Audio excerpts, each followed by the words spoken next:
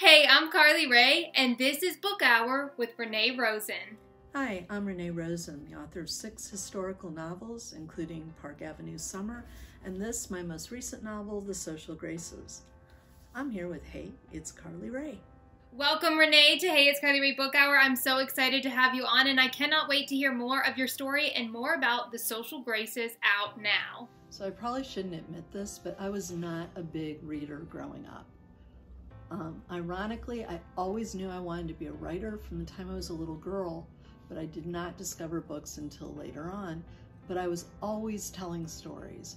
Um, I was either writing plays or writing poems or writing little stories.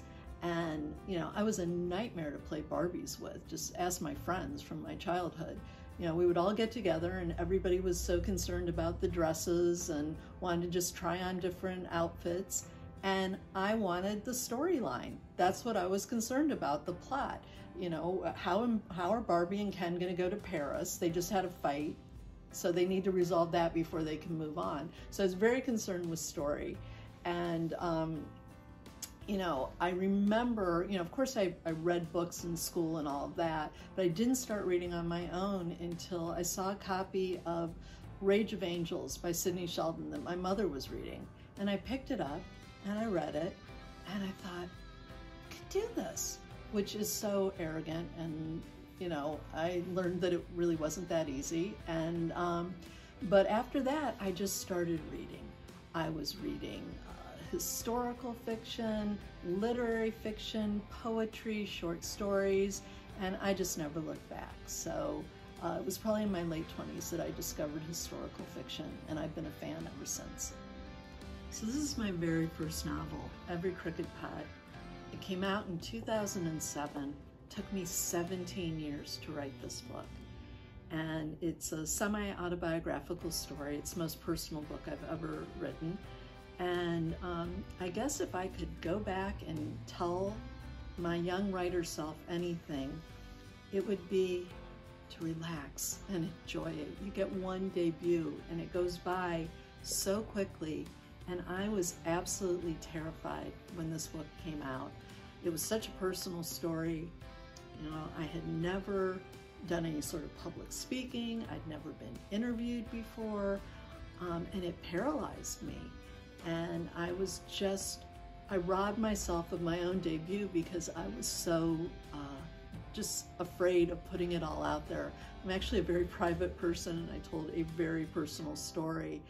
Um, and I guess, you know, uh, not only did I move away from personal fiction to historical fiction, but I've also had the benefit of really good editing. So I approach my work differently now because of that and I think I'm a sharper writer for it. So this is my new novel, The Social Graces, and it's based on the true story of two very powerful women, Alva Vanderbilt and Caroline Astor, battling for control of New York society during the Gilded Age. So we're talking the 1870s to the early 1900s, and it's a time where women had very few rights. They didn't uh, work outside the home, they couldn't vote, uh, they didn't have their own money. They had to answer to their husbands or their fathers. But the one thing that they had, and the reason they got up in the morning, was society. And society became their focus point. And it was the more celebrated the hostess, the more powerful the woman.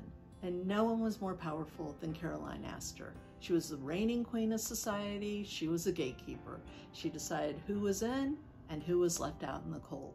And Alva Vanderbilt is her rival. And not only does Alva want in society, she wants to take over society.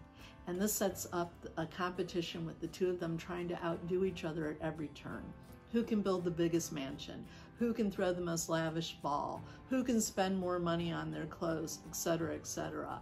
And a friend of mine, a bookseller, said, Oh my God, they're like the original Real Housewives of New York City, but in ball gowns. So it's a fun romp through the Gilded Age. So writing historical fiction is always a little tricky and I found that each book sort of dictates its own uh, process. And really the jumping off point for me is finding either a time period or event or a really fascinating person. And from there, I'll try and read everything I can, you know, any kind of biographies, uh, any kind of nonfiction that I can find on those subjects. And I'll watch films and documentaries. Um, if I can, I'll go and interview people. And then, if it's possible, I like to go and physically see where I'm writing about, whether it's, you know, uh, the mansions in Newport, uh, Rhode Island for the social graces. Um, it's, I think it's important to really see it, touch it, feel it. Um, and I don't outline. My life would be so much easier if I did outline. Um, I tend to write myself into 20,000 word corners, um, but I never know what's going to happen from one scene to the next. I let the characters dictate that and I follow their lead. And, um, you know, uh, for me, I wait and see how the story is going to unfold on its own. And that's my process. So storyline for me always comes out of the research. You know, um, for example, when I was writing What the Lady Wants, I was researching Marshall Field in Chicago during the Gilded Age. And when I stumbled upon the fact that he had a 30 year love affair with his neighbor, boom, that was a story that I could tell. Um, in the case of Windy City Blues, when I was doing my research and I found that there was a record label started by two Polish Jewish immigrants with no musical abilities whatsoever who started the whole Chicago blues scene and gave birth to rock and roll. Boom, that's the story I could tell. Um, in the case of uh, Park Avenue Summer, when I found out that Helen Gurley Brown had become the first female editor in chief of Cosmopolitan magazine with absolutely no editorial experience, no magazine experience, I just said, this is a story I can tell. So I go into my research, I look for that nugget. In the case of the social graces, it was Alva and Caroline's rivalry to take over society. And I, that's what opens that very first bit of the story for me. And that's where uh, I'd like to follow that lead. So picking a favorite one of my novels would be really tough. That would be like picking a favorite child. I do love all my books, but I have to say, usually it's the book that I'm working on in the moment that has a special place in my heart. So right now it's got to be The Social Graces, um, only because I've been so consumed with this book for the past two and a half years, and I'm so excited for people to uh, discover what I found in my research. Um, I could not have dreamed up these characters. Fact is definitely stranger than fiction, and I'm really excited for readers to meet Ward McAllister, who was the tastemaker of the day. He was Caroline's sidekick, and he was the ultimate snob. He would scold a hostess for not frapping her wine sufficiently. Or Mamie Fish, who she was the hostess with the mostest, and uh, she threw a ball for a chimpanzee, and people threw balls for their dogs and horses and an elephant even. So um, there's a lot of fun to be had in these pages, and I had a ball working on it, and I really hope readers will have as much fun reading it. So social media is become very important in the publishing world. You know, if you think about it, it's really a two-way street. It enables me as an author to reach more readers, and also it enables readers to reach the authors. And it's opened up wonderful communication and feedback, and I love hearing from readers. And, you know, I don't know how we would get our books out there now without influencers like you, Carly Rae, all the bloggers. Um, you guys have really changed the landscape of uh, the publishing world, and social media is just a really important part of that. So I, you know, I didn't have that when I first started. So being able to access that has been a tremendous benefit in my career. What do I want readers to take away from my novels? Um, the first thing is I want them to be entertained.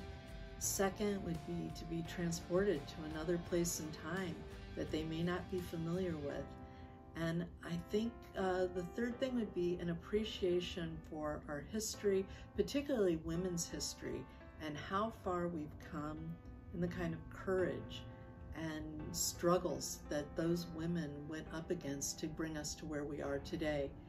Um, that's what I want people to take away from my books.